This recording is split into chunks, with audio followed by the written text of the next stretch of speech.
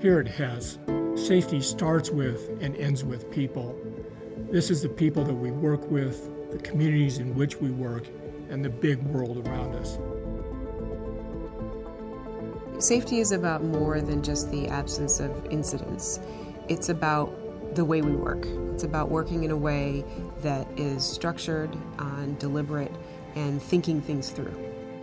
Number one, each one of us have a responsibility to know our jobs. It sounds very simple, but that's, that's essential. And number two, that we follow the procedures that we have. Following those procedures keep us safe.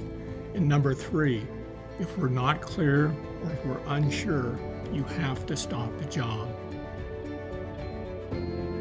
I think there's there's a bit of a, a, stigma that you know if you if you stop something due to, to some concern over safety or you you know shy away from doing something because you're concerned for your own safety you're not considered to be brave or you're you're not willing to take risks that's really not what it's about it's about having the courage to actually say no this is not safe and, and we shouldn't work um, un until it is safe so I'll often say to engineers if it really doesn't feel right it isn't right. Let's trust your intuition.